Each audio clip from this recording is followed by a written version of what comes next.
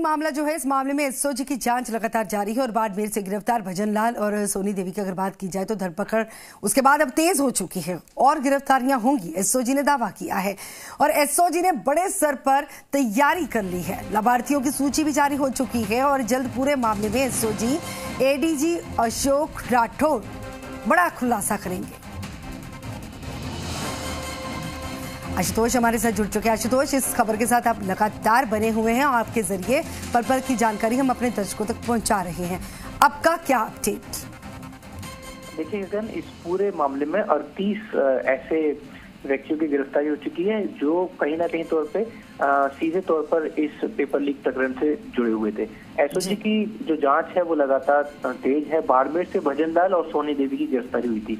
ये गिरफ्तारी अपने आप में इसलिए बड़ी थी क्योंकि ये वो कड़ी थी जहाँ से सीधे तौर पे लाभार्थियों को और ऐसे व्यक्तियों को पेपर पहुँचा जिन्होंने पेपर खरीदे भी हैं अगर आगे बेचे भी हैं और अपने करीबी रिश्तेदारों को भी दिए हैं। हम्म। बाकायदा एक तय जगह पे तय कमरों में बाकायदा उन पेपर्स को सॉल्व कराया गया है तो अब ऐसे तमाम लाभार्थियों की तकरीबन तकरीबन सौ से अधिक लाभार्थियों की सूची तो करीब एक हफ़्ते पहले एसओजी तैयार कर चुकी थी हम्म। अब ये ज़ाहिर है कि संख्या और बड़ी होगी तो हम्म। इस आधार पे ऐसे लाभार्थियों की जो बड़ी सूची तैयार की गई है उनको लेके लगातार दबिश दी जा रही है साथ में ही जिन लोगों ने पेपर खरीदा आगे तक पहुँचाया उनको हम्म। लेके दबिश दी जा रही है एसओजी की टीम स्थानीय पुलिस के सहयोग से सांचौर की बात करें जालौर की बात करें यहाँ तक कि भरतपुर की बात करें दौसा की बात करें ऐसे बहुत सारे ज़िले हैं जहाँ पे ऐसे लाभार्थियों को डिटेन करने के लिए उनसे पूछताछ करने के लिए और कड़ी से कड़ी जोड़ के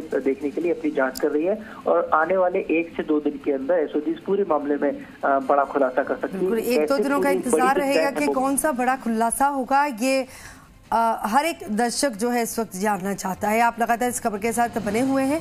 बने रहिए कोई भी अपडेट होगा हमारे तक ज़रूर पहुंचाइएगा।